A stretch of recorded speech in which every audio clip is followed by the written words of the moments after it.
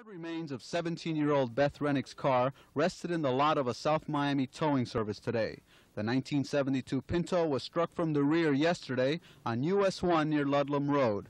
Upon impact, the Pinto's gas tank exploded, trapping Beth and her 16-year-old passenger, Judy Tamburino, inside the flaming car. Tamburino remains in serious condition, and the driver of the other car, 31-year-old Donald Mueller, who was charged in the accident, is in critical condition.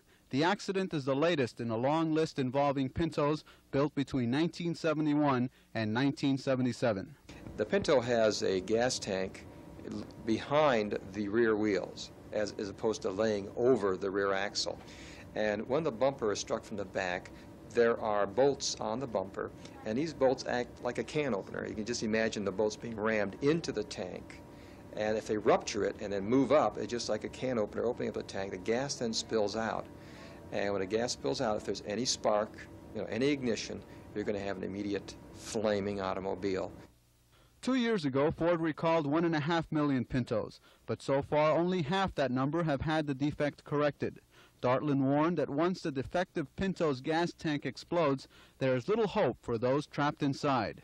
What happens is the doors will lock or bind so that you can't get out. And then if the gas tank has been ripped open through the, uh, because of the bumper, the gas splashes on the inside of the compartment, possibly on the person. And if there's an ignition, it's just like being in an oven. Although Ford stopped building Pintos just last week, their cars are still on the road, and Pinto drivers we talked to today had mixed feelings about their car's safety. Do you like the car? Oh, yeah. Nice little car. Do you think it's a safe car? No. It's not a safe car. It's a piece of junk. These 1980 Pintos, like the 1978 and 79 models, were built without the fuel tank defect. But what is frightening is that there are half a million potentially dangerous Pintos still on the road. Eliott Rodriguez, Channel 4 News. Ford Motor Company took action almost two years ago to recall and repair the cars involved through dealer and customer notification. Nevertheless, while no accurate estimate is available, there are still a sizable number of vehicles that have never been brought back in. Included in the recall are 1971 through 1976 two and three door Pintos and 1975 and 1976 Mercury Bobcats, sister to the Pinto. Again, only two and three door models were recalled. No station wagons are involved.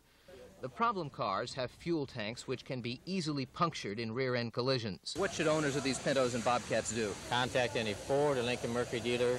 They can call it in on a computer system and find out within a matter of minutes whether or not their car is one that needs to be modified. No charge whatsoever. Now, what exactly is done to the automobiles when they're brought in? Well, it's a modification kit where there's a shield added at the gas tank. And that does what? Added protection in case of impact that the gas tank wouldn't crush up and collapse against the frame.